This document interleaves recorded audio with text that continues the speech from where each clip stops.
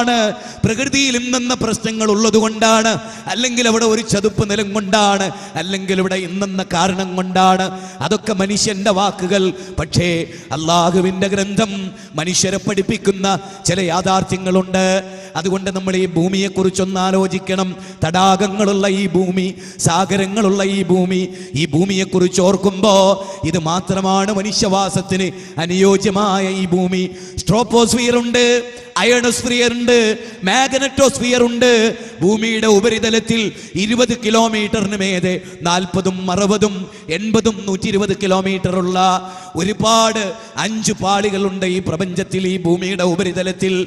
അതിന്റെയൊക്കെ എത്രയോ പതിനഞ്ച് കോടി കിലോമീറ്റർ അകലെ സ്ഥിതി ചെയ്യുന്ന സൂര്യനിൽ നിന്ന് പ്രകാശം ഇങ്ങടെ ഭൂമിയിലെത്താൻ എട്ട് മിനിറ്റ് വേണമെന്ന യാഥാർത്ഥ്യം അറിഞ്ഞുകൊണ്ട് വേണം ഈ ഭൂമിയിൽ നമ്മൾ ജീവിക്കാൻ.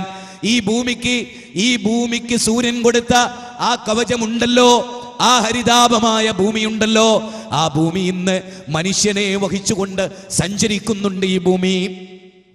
പട്ടയത്തായത്തി ഈ മൈതാനത്തിരിക്കുമ്പോ ഭൂമി സഞ്ചരിക്കുന്നുണ്ട്. ഒരു സെക്കൻഡിൽ മുപ്പത് കിലോമീറ്റർ വേഗതയിൽ ഭൂമി സഞ്ചരിച്ചു കൊണ്ടിരിക്കുന്നുണ്ട് എന്ന ഓർമ്മ ഭൂമിയിലൂടെ ബൈക്ക് ഓടിക്കുമ്പോൾ കാർ ഓടിക്കുമ്പോൾ വീടിന് പണി തുടങ്ങുമ്പോൾ തറയിടുമ്പോൾ സ്റ്റേജ് കെട്ടുമ്പോൾ എല്ലാം ഓർമ്മ വേണം.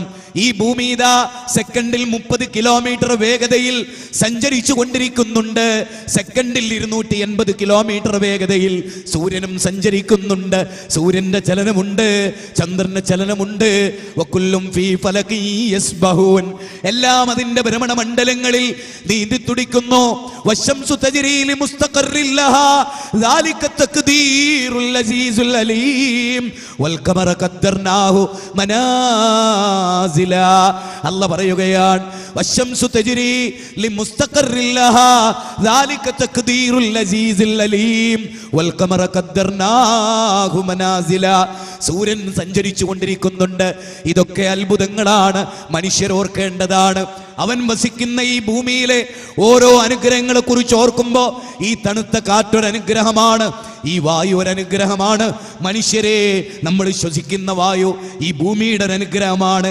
മേലോട്ട് മേലോട്ട് ഉയർന്ന് പർവതത്തിന്റെ ഉച്ചസ്ഥായിയിൽ ചെന്നാൽ മൂക്കിലൂടെ രക്തം വരികയായി. എന്തേ സാന്ദ്രത കൊണ്ട് ഈ ഭൂമിയെ അനുയോജ്യമാക്കിയ പടച്ചു തമ്പുരാൻ പറയുകയാണ്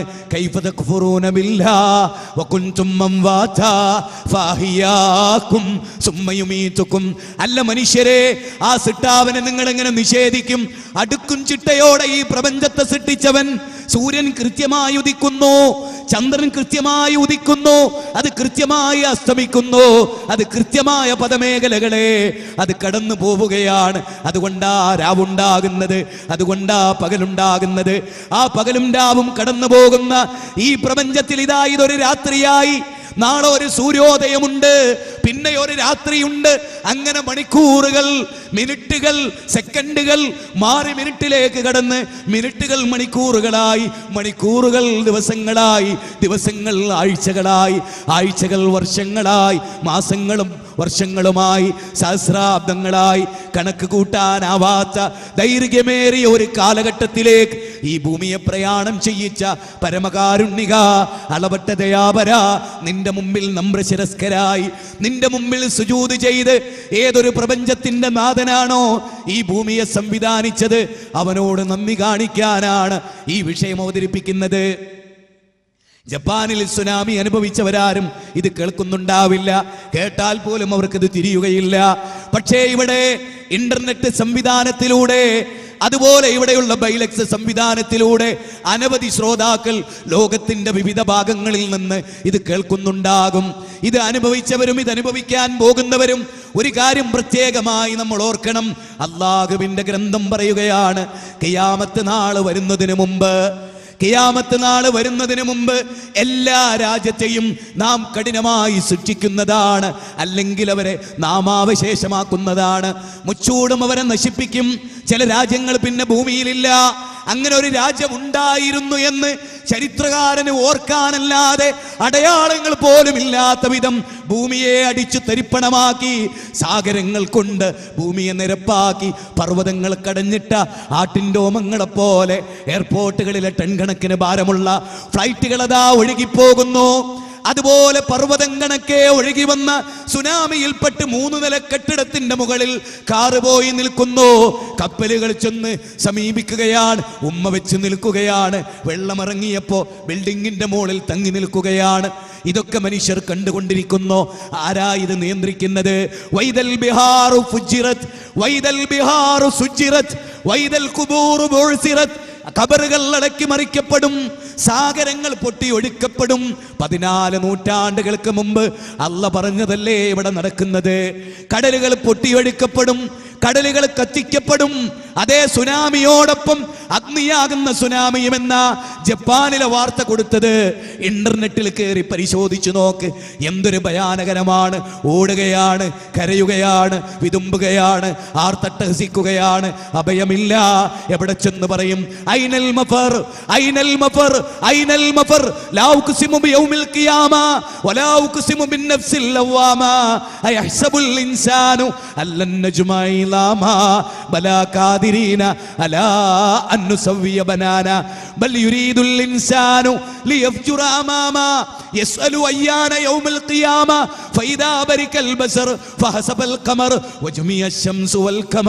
സൂര്യനും ചന്ദ്രനും ഒന്നു ചേരുന്ന ദിവസം.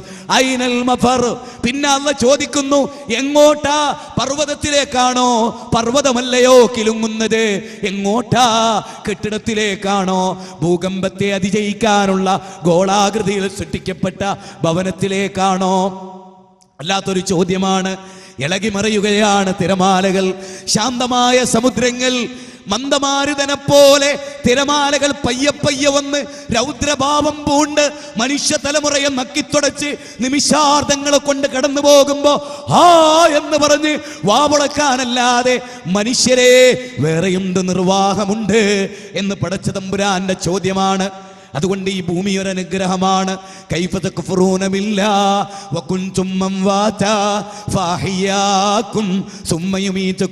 അവനല്ലയോ നിങ്ങളെ സൃഷ്ടിച്ചത്? അവനല്ലയോ നിങ്ങളെ മരിപ്പിക്കുന്നത്? അവനല്ലയോ നിങ്ങളെ ഉയർച്ചെഴുന്നേൽക്കുന്നത് അത് വല്ലാത്തൊരു ചോദ്യമാണ്.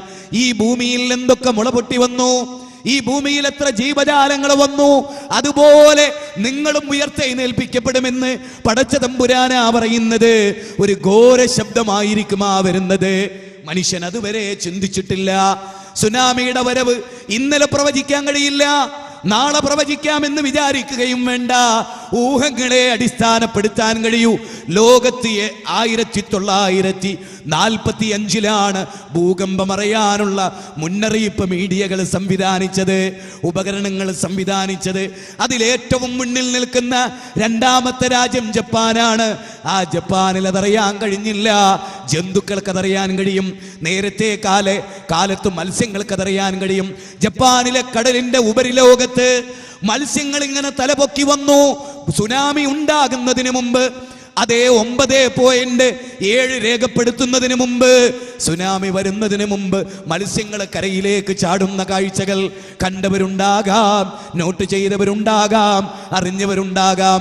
മത്സ്യങ്ങൾ അറിയുന്നു മനുഷ്യൻ അറിയുന്നില്ല പറവകൾ അറിയുന്നു മനുഷ്യൻ അറിയുന്നില്ല കൂട്ടിൽ കെട്ടിയ ആടറിയുന്നു പശു അറിയുന്നു പക്ഷി പക്ഷിമൃഗാദികൾ അറിയുന്നു അവ കലകലാ ശബ്ദം പുറപ്പെടുവിക്കുന്നു കൂട്ടിൽ നിന്ന് പുറത്തു വരുന്നു വീണ്ടും കൂട്ടിലേക്ക് വരുന്നു വീണ്ടും കൂട്ടിൽ നിന്ന് പുറത്തു പോകുന്നു. റസൂലുള്ള പറയാ മൃഗങ്ങൾ ഇതൊക്കെ നേരത്തെ അറിയും. അതേ സൂറത്ത് യാസീനിൽ അള്ളാഹു സുബാനോ സൂറത്ത് യാസീനിൽ നിങ്ങൾക്ക് പരിശോധിക്കാം. നാൽപ്പത്തി ഏഴ് മുതലുള്ള വചനങ്ങളിൽ മുപ്പത്തിയാറാം അധ്യായം. സൂറത്ത് യാസീനിൽ നേരത്തെ ഞാൻ ഓതി വെച്ച എന്ന് പറഞ്ഞ സൂറത്ത് യാസീനിലെ മുപ്പത്തെട്ടാമത്തെ വചനമാണത്. സൂറത്ത് യാസീനിലെ നാൽപ്പത്തിയേഴ് മുതലുള്ള വചനത്തിൽ അല്ലാഹു പറയുകയാണ് എന്താ അതൊരു ഘോരശബ്ദം മാത്രമായിരിക്കും? അവർ പരസ്പരം തർക്കിച്ചു കൊണ്ടിരിക്കവേ അതവരെ വന്ന് പിടികൂടും. അവരിങ്ങനെ വിചാരിക്കും എന്ത്? എവിടെയായി കിയാമത്ത് നാൾ? എവിടെയായി കാര്യം? എവിടെ നിങ്ങൾ പറയുന്ന ഈ ലോകാവസാനം? ലോകം അവസാനിക്കുമെന്ന് നിങ്ങൾ പറയുന്നുണ്ടല്ലോ. എന്താ ഇത് നടക്കുക? അവർ ചോദിക്കുന്നു അല്ല നിങ്ങൾ സത്യവാന്മാരാണെങ്കിൽ ആ വാഗ്ദാനം എവിടെ? അതെപ്പോഴാണ് പുലരുക? ആകാശം കഷ്ടം കഷ്ടമാകുമെന്ന് നിങ്ങൾ പറയുന്നുണ്ടല്ലോ. ഭൂമി അതിന്റെ കിലുക്കം കിലുങ്ങുമെന്നും പറയുന്നുണ്ടല്ലോ. സാഗരം പൊട്ടിപ്പിളരുമെന്നും നിങ്ങൾ പറയുന്നുണ്ടല്ലോ. എന്ന്